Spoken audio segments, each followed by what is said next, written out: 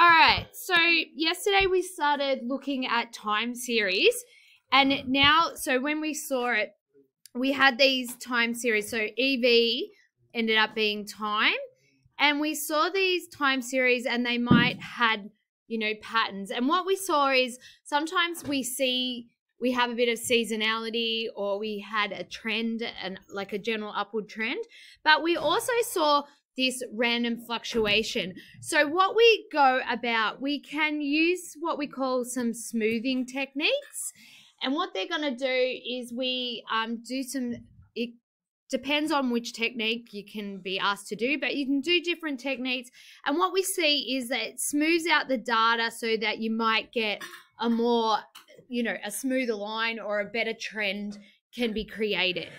So the very first, the first smoothing technique we're going to do today is mean smoothing. Now you have to be, the smoothing techniques have very similar names.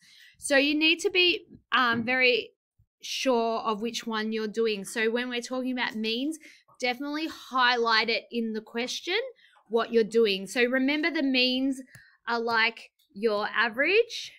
So that's, you know, how we work it out. We work out an average by adding everything up and dividing. So let's have a look. So you can get asked to smooth your data. You can either get, um, first one we're going to look at is when we have odd number mean smoothing, which means either three, five, seven, nine, and so on.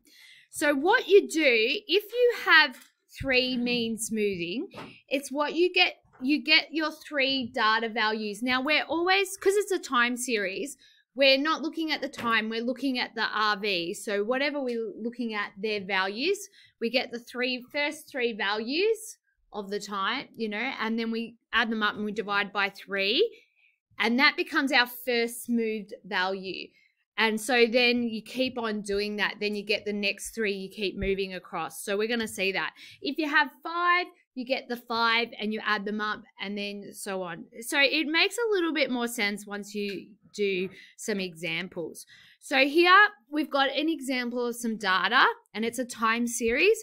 So just to make sure if you were drawing this in a scatter plot, we would give this a code of day one, day two, day three, day four, day five, day six, day seven. Yeah. So that would be its time code just to help you out sometimes, like because it does look like categorical data, but we change it to a time code. All right. So we've been given the days of the week and the temperature. Now, we could, if we went to smooth this whole data, we would start with the first three, add them up, and all that. So, generally, that's what you do if you're smoothing the whole set. But obviously, that takes a long time. So they generally ask you in exams or in the um, in the SACs just to do you know one of them to show that you know. So the first question here it says calculate the three me three moving mean smooth temperature for Tuesday. So what you're doing because you've got three, you go to the day that they're talking about. So it's Tuesday. So you want to get the three values, including Tuesday, around it. So if you've got three, you would pick so one below it and one above it. So if I was doing that, I'd go 18.1. Oops, sorry. 18.1 plus 24.8 plus 26.4 and I divide it by 3 and then I get 23.1. So this is the smooth value for Tuesday. Okay, so what happens if you had, um, so say underneath I had another col- uh, row here and I called it the three mean smoothing. The very first one that you could get it has to be Tuesday because you can't get if you went to do Monday, there's no before data to collect it. So that would be your first one. And if you went through all of it, you end up the last smooth value you could get would be on Saturday. So it might be a point to write that in our notes. So when we have um, three mean smoothing, I'm just using the symbol for mean, we lose the first and last data point. Yeah, so because you can't get, you know, once you get to Saturday, if I went to do Sunday, there's no other data after it, so I can't get a smooth value. So that's what you you'll lose one, and it's good to know that because sometimes they ask that as a question. So then in question B, they decided, all right, no, we want you to try and do a five mean smoothing. And I'll just, I'm going to do it in a different color so you can see. So five mean smoothing for Thursday. So Thursday, I got one day. Now, because it's five, I'm going to go two below it and two above it. So it would be 24.8 plus 26.4 plus 13.9 12 oops 12.7 plus 14.2 and then if I divided that by 5 it would be 18.4 okay so if you look at Thursday um we could we could still do we still had a bit of data left after it. So I could, the last one I could do if I was doing three mean smoothing would be Friday. And the first one I could do would be Wednesday. So really, if you have five mean smoothing, you will lose the the first two and the last two. Does that mean? So we'll write a little note. If you have five mean smoothing, we lose